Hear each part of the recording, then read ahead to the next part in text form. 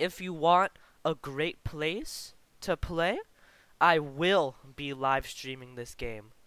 I'll I want to make a series where it's just me and you viewers just doing random stuff. So, yeah, be on the lookout for that. Please join if you want. And yeah. Okay. So, you want to play Super Mario 64 EX Co-op online. But you don't know how to do that because the Discord invites don't work. So what do you do? Well, you could use RAdmin, which is actually a lot easier than you think. So, um, go to the Discord invite in the description and go to how to play. This is the Spanish section, so we don't really need that unless if you talk Spanish. So scroll up to the instructions. So the easiest way, the way that I did, was the co-op compiler. If you want to do the more customizable SM64 PC Builder 2, which I uh, I think it could do textures and stuff. I have not used it. I've used the co-op compiler because it's just the easiest for me. So, click on this and download. Okay, now that you've downloaded it, open and wait. Go to more info, run it anyway. Okay. So the ROM has been found automatically because I've already done this. But if it tells you to find it, go to the location of the of the, your ROM file and select it. So now I'm going to compile it and you can do these two. I will do OpenGL because this one is just easier and just better in general and just wait for this to go.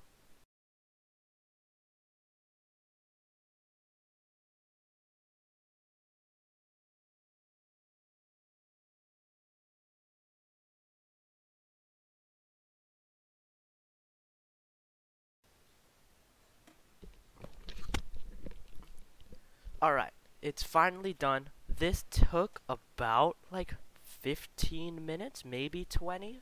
So yeah, you might want to, you know, like go grab a coffee or something while this is going. So now there should be a button that says play. So you click on that. And it should open it. As you can see, um, I already have my color code on because I've already done this. Um, let me just quit so you could find where it's located. It should be located in here. See, wherever you put your compiler, there will be a bin folder. That's where it will be located. So these are the mods that it comes with. It comes with some ROM hacks. It comes with some like move set mods as well.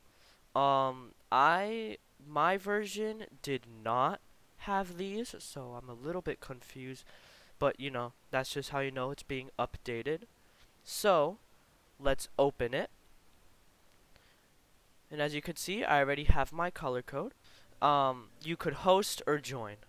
I'm going to show you guys how to um, host and join in this video and how to add more mods and ROM hacks. So let's get into that right now. So, in order to host and in order to join, you need a program called RAdmin. So, go into the other link in the description, radminvpn.com, and download.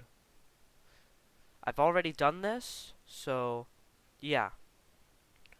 Once you once you download it, just open it and go through the little wizard thing. And that should be it. It's super easy, so I shouldn't need to get you through that. Just go through all the defaults and stuff. So once you're done with that, you should have RAdmin. I recommend, as you can see right here, open file location, grab this, control C, and now go here, click new, shortcut, control V, and then browse. As you can see, I'm already here. So I'll click on this, OK, I'll click on next, and I'll click on finish, and it's right here. So now, I don't have to go digging through my Windows folders to get to it. It's all in the same place. So, let's open it. And as you can see, I've already used some. I've joined some and I've made some, which is this one that I've made. So, it's extremely, extremely easy to join. So, if you want to join or host, go to Play Co-op. And so now we have people that are doing stuff right here. Let's find it. As you can see, this person has been extremely nice to give us this. So, RAdmin name and pass vanilla co-op. So, we go to network, join network. For the network name, we put vanilla co-op, just like how we said.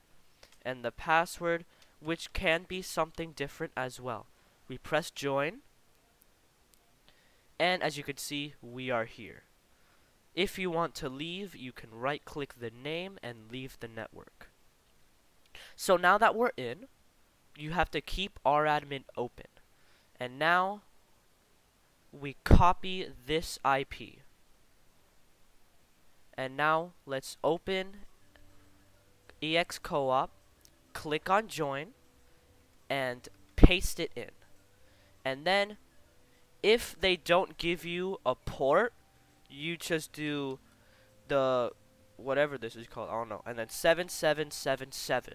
That is usually the default unless stated otherwise. As you can see, 7777. Click on join and it should automatically load the mods that the server owner has. As you can see, Star Road, and also Hide and Seek. And as you can see, we are currently playing Hide and Seek. As you can see, we have a person right here. We could we could fool around with them. We could have fun. Now, I'm going to show you how to create a network. So let's leave this network because I don't want to be in it anymore. And let's create a network. So go to network, create network. You need to remember the network name and network password so you can show it to other people. Yes, you will have to show the password for other people to join. So let's just name it example and then let's make the password hello. And then you have to type in the password again. Oh it has to be six characters long. Let's put another O in there. So hello with an extra O at the end and let's create it. Oh. What? So you see there are requirements. So let's do example one two three four five. Create and as you can see, it is right here. And now, what you want to type in to have other people play, you want this IP right here. Copy that. And then you do RAdmin name, which is example 12345. RAdmin pass is hello with an extra O. And then IP would be this. And then because there is no port that it says, you just put the 7777. Just like that. And other people should be able to join you. So you press host, do direct connection, the port should be right here. You could change it to whatever you want, but keep it as 7777. You could put in some mods, let's put football, why not? ROM hacks, no, and host. And as you can see, we are now playing football. Yeah, so that's very cool as well. And of course, I can delete this network as well. And now I will show you how to get DYNOS packs and mods. So let's go over to co-op mod releases and let's find a mod to play. Let's do Monochrome Mario 64, why not? So we download in the mods folder. Just put it in, bam, it's all here.